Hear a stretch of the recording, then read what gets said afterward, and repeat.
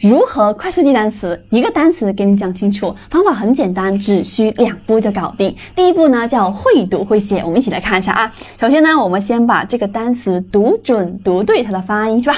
第一个呢读 g g，这个发音很简单是吧？来看中间这个呢，这个发音读 i i OK 也很简单。然后这个呢发，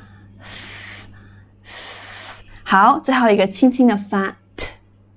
好啦，我们现在一起从左往右拼读过来呢，就是 g i gift，对吧？再来 g i gift，好，这是它的音标的读音，同学们，来读完这个音标之后呢，立马看到这个单词这里，我们看看对应的字母发什么音，有什么样的规则。因为知道这个部分之后呢，同学们以后你再去拼读单词或者写单词就会变得更加简单了啊。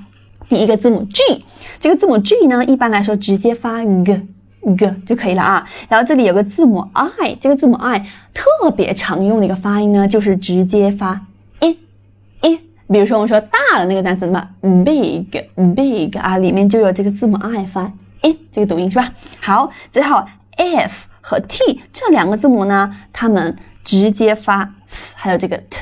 啊，没有什么变化，很简单，对不对？好了，所以我们一起来看的单词拼读就是 g i gift g i gift。好，拼读完之后，现在我们一起试一下听音拼写啊，来试一下 g i gift。想一下哪个字母发 g g，哪个字母发 i i，哪两个字母发？好，写完了吗？写完一起来看到这里啊，g 写字母 G 对吧？i 写字母 I，f 写 f，t 写 t 就可以了啊。好，这是我们第一步会读会写。同学们啊，这一步呢，如果你的发音非常熟练的话，其实特别简单，就是一拼过去啊，几乎就可以把它读准，也能把它写对了，很快的啊，对吧？几秒钟的事情。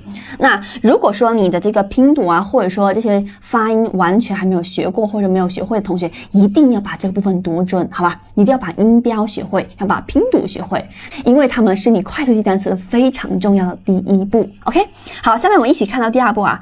精准记中文意思啊，来，这个单词呢有两个意思，一个是礼物，一个是天赋。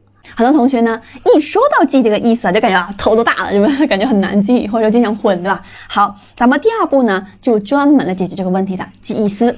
来叫分解，什么意思呢？就是我们会从这个单词当中啊，拿出一些字母，或者有时候会拿出一些字母组合出来，作为一个线索，然后再用这些线索呢，把这个意思联系在一起。这样的话呢，你就可以实现非常精准的记意思了。而且你复习的时候，直接看到这个单词的外形，就能回想出来它的意思。来，我们一起看一下吧。我们从这个单词中选出 G 这个字母。对吧？用它代表的是哥哥，因为它的发音呢是 g g，像哥哥的哥，对不对？这个应该很好理解吧？然后呢，这个字母 i 呢，哎，代表的是火把，你看它的形状是不是很相似？OK，好了，到这里之后呢，同学们啊，来，礼物天赋怎么记呢？OK，来，我们可以稍微的展开想象了，我们可以想象呢，呃，这个哥哥做了一个火把，可以吧？哎，做了个火把，做完之后呢，哎，他发现自己太有天赋了啊！做这个火把太像了啊！没想到自己这么有天赋做这个事情，对吧？做完这个火把之后呢，哥哥就点着这个火把，然后出去买礼物去了。因为呢，他准备买个礼物给他的朋友，对吧？你可以想一下啊。所以单词的意思呢，一个是天赋，一个是礼物。好了，记完之后，来立马回到这个单词这里来啊，看着单词的字母想一下意思。第一个，它的发音一般是发 g，对吧？代表哥哥。第二个呢，像火把，代表火把。哎，哥哥做了一个火把，对吧？他自己第一次做个火把，但是没想到自己这么有天赋，做的这么好，是吧？然后点着火把去买礼物去了。所以单词的意思呢，一个是天赋，一个是礼物。OK。